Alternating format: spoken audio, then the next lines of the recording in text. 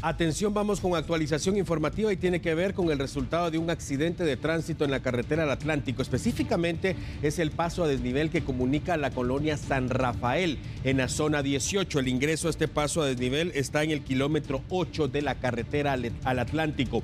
Bomberos voluntarios y bomberos municipales han atendido esta emergencia. De manera preliminar se habla de un accidente múltiple justamente bajo este paso a desnivel y uno de los conductores habría sido el más afectado. De hecho, se sabe que habría quedado atrapado en los restos de su vehículo y los bomberos tuvieron que utilizar equipo hidráulico para poder rescatarlo y posteriormente ser llevado al hospital más cercano. En este caso, a la emergencia del Hospital General San Juan de Dios en la zona 1 de la capital guatemalteca.